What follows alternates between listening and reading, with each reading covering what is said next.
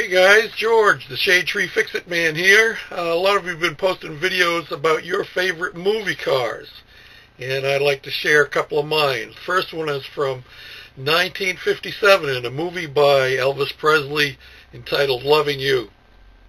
It's a 30, uh, well, it's a 29 Ford Roadster on a 32 Ford frame with a flathead V8, what's become known as the AV8 hot rod and um, I've uh, attached a couple of clips of that. And then the other one is actually from a TV program or actually several TV programs. The first being uh, 77 Sunset Strip and the car was what became known as the Kookie car driven by Edd Byrnes who played the character of Kookie on that program. A T-Bucket built by Norm Grabowski. Um, who was also featured on the cover of Life magazine a couple of times, and Hot Rod magazine and other magazines of the day. And it was the beginning of the T-Bucket craze. So I hope you'll enjoy these video clips that I've attached, and uh, these are a couple of my favorites.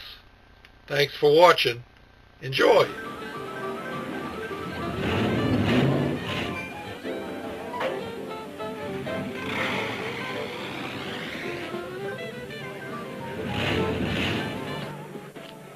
Get in, Teddy. You're not going to run over me, are you? Excuse me, Mal. I'm in kind of a hurry. I can see that. Dual carbs, electrical fuel pump. Nice do-it-yourself job. What you can. Three-quarter race. What does she peak at? She does all right. You ought to install a tach. Tach costs money. Yeah, money. I'm Glenda Markle. You sure know your way around a car, lady. You have to in my line of work. I'm a girl. How about a little demonstration? Hey, go on, Cat. Show the lady what the car can do. Yeah. I already know what you can do. Takes it a little while to warm up. Doesn't everyone?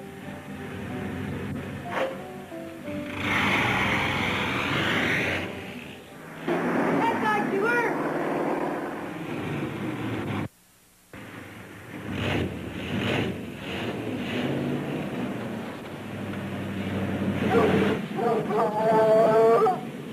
Well, come on, boys. Let's get this show on the road. It's 250 miles to Longhorn.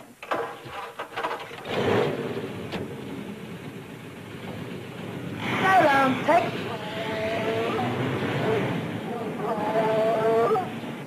Hey, dog. Come here.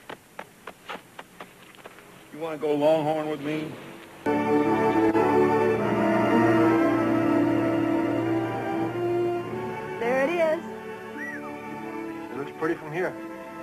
I'm glad Tex had this idea. So am I.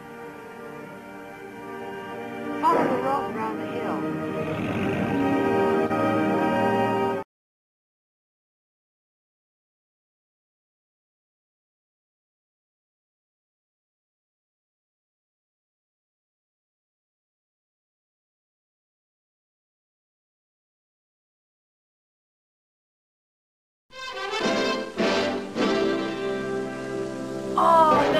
Is so.